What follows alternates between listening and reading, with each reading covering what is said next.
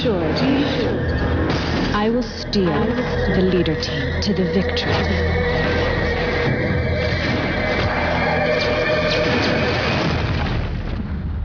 Michel Vaillant.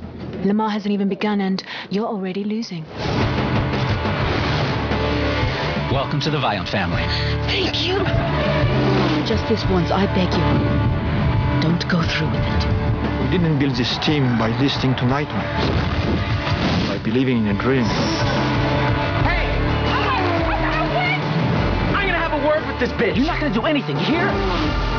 Forget about it! I need you to do me a really big favor, Julie. I want you to take my place.